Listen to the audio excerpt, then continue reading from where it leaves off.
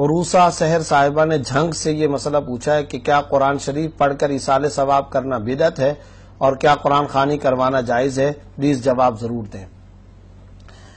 قرآن شریف پڑھ کر اصال ثواب کرنا شران بالکل بدت نہیں ہے، جائز ہے، اجر و ثواب کا باعث ہے۔ جو آدمی پڑھے گا، اسے بھی ثواب ملے گا۔ جس کے لیے اصال ثواب کی وہ نیت کرے گا، اسے بھی پورے کا پورا پڑھنے کا اجر و ثواب کامل درجے کا ملے گا۔ یہ وہ عقیدہ ہے جس پر اہل سنت والجماعت علماء اور ائمہ اور فقہا و محدثین کا اتفاق ہے۔ دیکھیں قرآن شریف پڑھنا کیا ہے؟ ایک ذکر ہے نا۔ ایک تلاوت ہے نا ایک دعا ہے۔ جب یہ دعا ہے تو ربنا اغفر لی ولی والی دیا ولی یوم یقوم الحساب۔ تو ہم جب یہ دعا کر رہے ہیں کہ میری مغفرت فرما اور یا اللہ میرے والدین کی مغفرت فرما اور مؤمنین کی قیامت تک۔ تو اس دعا کا فائدہ ان کو ہوگا کہ نہیں ہوگا؟ اگر اس دعا کا ان کو فائدہ نہیں تھا، تو پھر قرآن میں یہ آئے تھی کیوں آ گئی؟ ربنا اغفر لنا والاخواننا الذين سبقونا بالایمان ہماری اے اللہ بخشش فرما، اور جو ہم سے سبقت کر کے ایمان کے ساتھ دنیا سے جا چکے، اے اللہ ان کی بخشش و مغفرت فرما۔ تو اگر بات یہ تھی، اگر معاملہ یہ تھا کہ اس دعا کا مردوں کو جو گزر چکے کوئی فائدہ نہیں ہونا تھا، تو پھر یہ دعا کیوں پڑھی گئی؟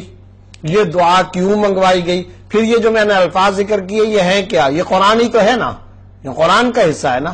تو قرآن کریم کا حصہ ہے، تو قرآن کریم کا یہ لفظ پڑھ کر اگر ان کو فائدہ پہنچ سکتا ہے، تو قرآن کی تلاوت کر کے اسال ثواب کا فائدہ کیوں نہیں پہنچے گا؟ اس لیے ذکر، تلاوت، نفلی نماز قرآن کریم پڑھ کر ایسال ثواب کیا جا سکتا ہے؟ شرح اس میں کوئی حرج کی بات نہیں۔ البتہ اگلا سوال کا حصہ یہ ہے کہ کیا قرآن خانی کروانا جائز ہے؟ یاد رکھے قرآن خانی کا مطلب کیا ہے؟ قرآن خانی کا مطلب ہے قرآن پڑھوانا، قرآن پڑھنا۔ تو قرآن کریم پڑھنے کے بارے میں تو ذکر کر لیا۔ اب اگر کوئی بندہ قرآن کریم پڑھتا ہے، کسی مردے کے اصال ثواب کی نیت کرتا ہے، تو یہ تو بالکل جائز ہے۔ باعث اجر و ثواب ہے، کار ثواب ہے۔ اس میں شرم کوئی حرج اور کوئی مذائقے کی بات نہیں۔ لیکن یہ بات ذہن کے اندر رکھیں، یہ آپ کے ذہن کے اندر بات آنی چاہیے کہ ایک ہے قرآن کریم پڑھ کر تلاوت کر کے اسال ثواب کر دینا، اس میں کوئی حرج نہیں۔ ایک ہے باقاعدہ، اس کے لیے کچھ لوازمات اختیار کرنا۔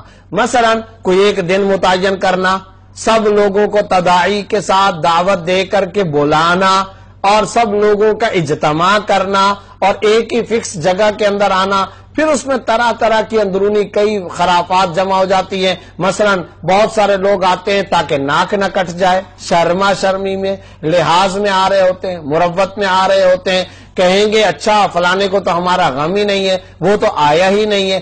اس طرح کی جتنی باتیں آتی ہیں، یہ خلاف شریعت ہے۔ انسان تلاوت کرے، دل سے کرے۔ اللہ رب العزت کے ساتھ اس کا ایک گہرا کانٹیکٹ اور تعلق ہوگا۔ اس کی بنیاد پر وہ اگر کرتا ہے تو اس میں شرن کوئی حرج کی بات نہیں۔ لیکن اگر یہ چیزیں کہ دن کو متعین کر دیا، کوئی ایک دن فکس کر دیا، تو دیکھیں، اگر آپ نے یہ کہا کہ جناب پانچ تاریخ کو یہ ہوگا، تو یہ کیا بات ہوئی؟ اس کا ثبوت قرآن و حدیث سے نہیں ہے۔ اگر قرآن کریم پڑھنا ہے تو کیا پانچ تاریخ سے پہلے چار کو نہیں پڑھنا چاہیے؟ چھ کو نہیں پڑھنا چاہیے۔ کیا ہر وقت ضرورت نہیں ہے؟ تو اس کے لیے دن کیوں متعین کیا جا رہا ہے؟ اس کے لیے لوگوں کو کیوں جمع کیا جا رہا ہے؟ ارے بھائی، آپ کے دل میں درد ہے، آپ کو درد دل، آپ کا رفیق سفر و حضر تھا، آپ کا عزیز تھا، آپ کے اقریبا میں سے تھا، آپ کے خاندان کا فرد تھا، آپ کا پیارا تھا۔ جو چلا گیا، آپ کو درد ہوگا، آپ کو غم ہوگا، گلی چلتے کسی عام آدمی کو وہ درد، وہ غم تو ہو ہی نہیں سکتا۔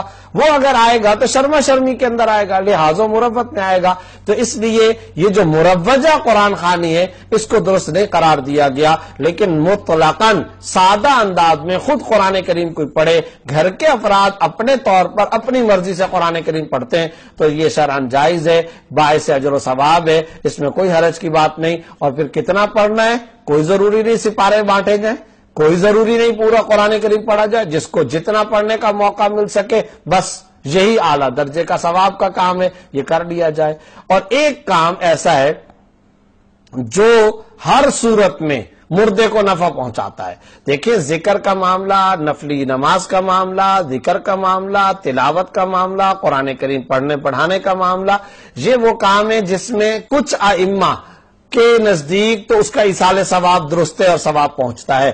بعض افراد کا اس میں ڈفرنس آف اوپینین ہے۔ ان کی جو الگ رائے ہے وہ یہ کہتے ہیں کہ نہیں، اس کا ثواب نہیں پہنچتا۔ بعض کچھ علماء ایسے ہیں۔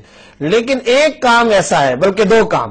دو کام ایسے ہیں جس کا فائدہ مردے کو یقیناً ہوتا ہے۔ دو کام ایسے ہیں۔ یعنی سب کے نزدیک ان دو کاموں کرنے کا، ان دو کاموں کے کرنے کا مردے کو فائدہ ہوتا ہے، تھوڑا نہیں، بہت زیادہ۔ نمبر ایک دعا مردے کے لیے دعا کرنا۔ جیسے کہ میں نے یہ دعا بھی پڑھ دی، ربنا اغفر لنا ولاخواننا الذين سبقونا بالایمان رب اغفر لي ولوالدي وللمؤمنين يوم يقوم الحساب۔ اسی طریقے سے احادیث تجربہ کے اندر آپ صلی اللہ علیہ وسلم نے کئی مردوں کے لیے دعائیں فرمائی زندہ کے لیے دعا فرمائی، مردے کے لیے دعا فرمائی۔ تو ایک تو دعا، یہ وہ عمل ہے جس کا فائدہ یقینی مردے کو ہوتا ہے۔ دوسرا عمل، مالی صدقہ۔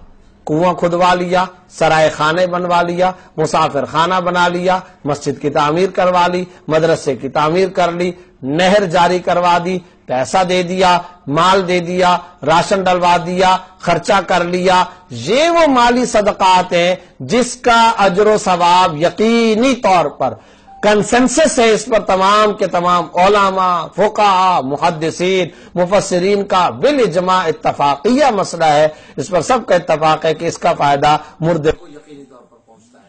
تو اب اگر کسی کے ہاں کوئی مردہ ہو، تو پہلا کام دعا کا۔ دوسرا کام، مالی صدقہ۔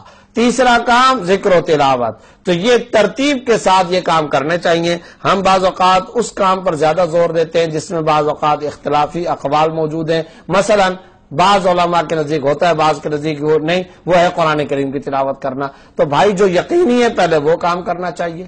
پھر جو اور یقینی وہ کام کرنا چاہیے۔ جو کم یقین والا معاملہ ہے، پھر اس کی طرف بھی آنا چاہیے۔ بہرحال قرآن کریم پڑھ کر اشال ثواب کرنا شران ثابت ہے اور جائز ہے اور شرن اس میں کوئی حرج کی بات نہیں۔